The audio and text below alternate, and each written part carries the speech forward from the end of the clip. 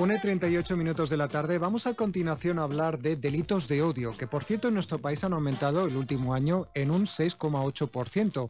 Una cifra que convendría que tuviéramos en cuenta, que nos hiciera reflexionar, así como también cómo actuar ante este tipo de agresiones eh, físicas, verbales, contra personas de otra raza, país, religión o identidad sexual. Fíjense que Podemos ANSE en unos días, este próximo viernes, va a organizar una charla. Eh, vamos a hablar de la misma con eh, su portavoz con Juan Angulo, al que ya saludamos. Muy buenas tardes.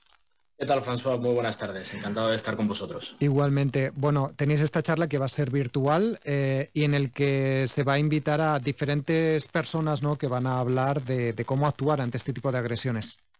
Exactamente, sí. La charla surge a iniciativa de una asociación de guineanos en España que se llama Wetting Pass, eh, muy vinculada con Movimiento contra la Intolerancia, a los que agradezco que se hayan puesto en contacto con nosotros y con nosotras para ofrecernos una charla para hablar de delitos de odio que creíamos que venía eh, perfectamente encuadrada porque hace muy pocas fechas hemos visto como una agresión racista en el metro de Madrid llegaba hasta las noticias de todos los telediarios y como esto quizá podemos empezar a trabajarlo de forma preventiva para evitar que este mensaje de odio cale en nuestra sociedad.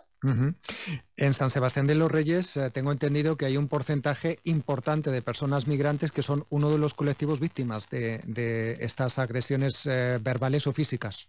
Pues sí, desde luego. En Sanse hay un 10,4% de sanseros y sanseras que no han nacido en España y que vinieron de otros países y a los que, aunque la convivencia es buena, no se puede decir otra cosa, parece que por momentos viviéramos en dos pueblos distintos y, la relación entre los nativos y los extranjeros no acaba de ser todo lo fluida que a nosotros nos gustaría. Entendemos que una sociedad cohesionada, que es capaz de integrar las diferentes culturas, etnias y sensibilidades, es una sociedad más rica y sobre todo una sociedad que trabaja por la prevención eh, de este tipo de delitos que, creemos que es imprescindible.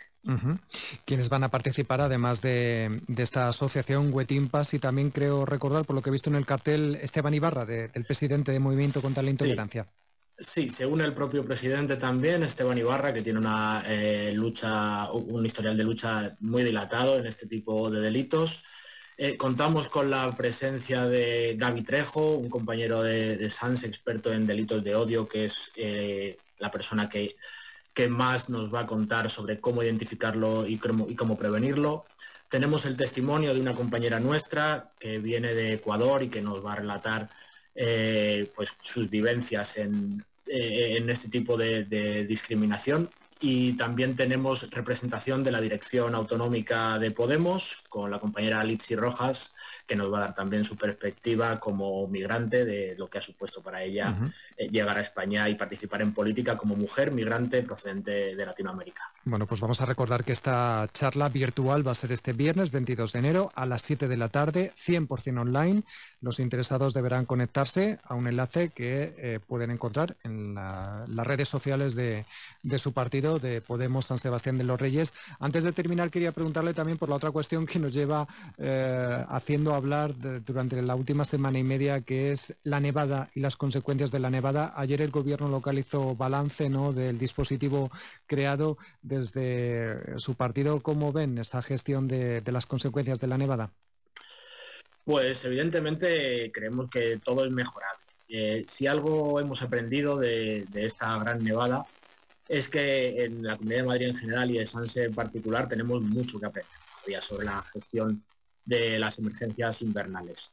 Eh, y es algo que, que, si bien pudiera ser comprensible porque a todos los municipios en mayor o, menor medida o casi todos nos ha afectado, lo que no sería comprensible es que volviera a pasar, porque Parece que los expertos indican que el cambio climático es, eh, es uno de los posibles factores que va a hacer que este tipo de eh, climatología extrema se reproduzca. Así que quizá no sería raro que en unos meses, ojalá no, o el año que viene, tengamos eh, otra tormenta similar. Lo que no sería aceptable es que volviéramos a cometer los mismos errores, que volviéramos a estimar de forma insuficiente las toneladas de sal que se ha comprado, o que quizá no se valoren otras alternativas a la sal, como la gravilla, o como la salmuera, o como, la ceniza. Eh, sería intolerable que eh, las quitanieves o los vehículos de emergencia no tengan vehículos, eh, no tengan neumáticos de invierno o no tengan cadenas, como ha pasado hemos visto que las quitanieves perdían su eficacia. eh, es evidente que el, hielo se tiene que esparcir, perdón, la sal se tiene que esparcir antes de que empiece a nevar y que el personal tiene que estar a su pleno rendimiento desde el mismo momento que empieza a nevar para evitar que, se forme hielo. Yo sé que hay muchos aspectos, lo comentaremos en el pleno de mañana, que se han podido mejorar. Eh, yo sé que es fácil hablar una vez ha pasado la tormenta, pero insisto, lo imperdonable sería no aprender de los errores y que nos volviera a pasar lo mismo. Pues Juan Angulo, que recordamos es portavoz de Podemos Anse, gracias por atendernos, ¿no? por explicarnos, bueno, pues eh, por qué han organizado esta charla virtual de este próximo viernes sobre delitos de odio en San Sebastián de los Reyes. Gracias. Muchas gracias, François. Un placer estar con vosotros. Hasta cuando queráis. Hasta la próxima. Onda Cero Madrid